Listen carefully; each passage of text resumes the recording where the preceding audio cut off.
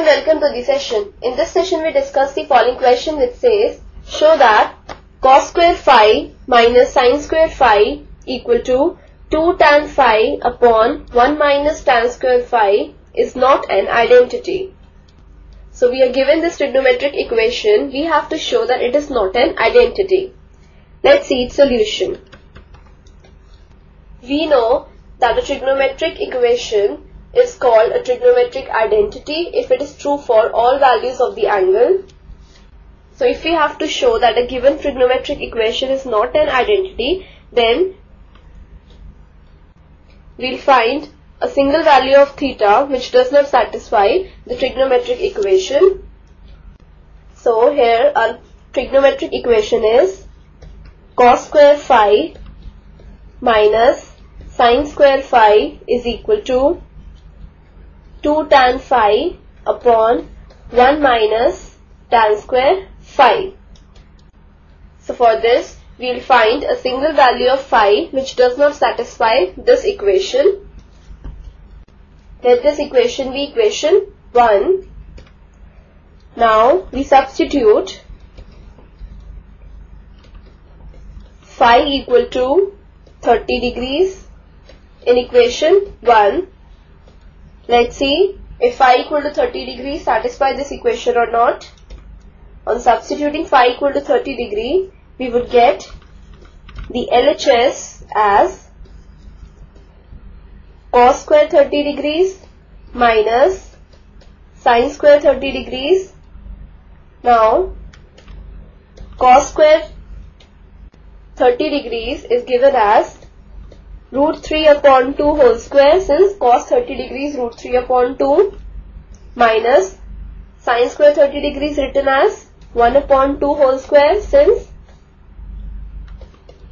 we know that sin 30 degrees is 1 upon 2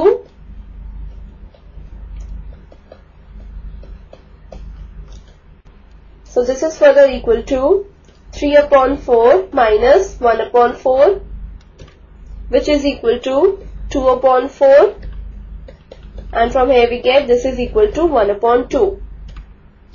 So we now have LHS is equal to 1 upon 2. Now let's consider the RHS.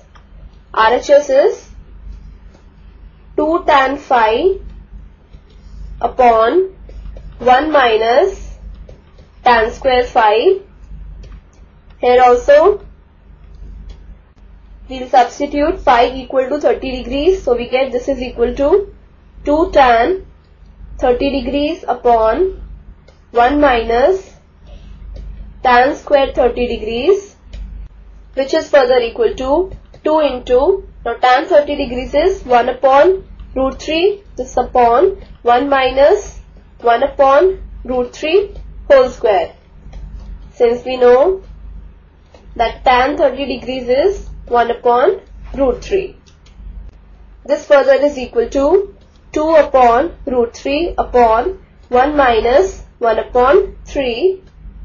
This gives us 2 upon root 3 upon 2 upon 3. So this is equal to 2 upon root 3 multiplied by 3 upon 2. Now here 2 cancels with 2 and this is equal to root 3. So we get RHS is equal to root 3. So as you can see that LHS is not equal to the RHS that is phi equal to 30 degrees does not satisfy equation 1 hence we say that equation 1 is not an identity.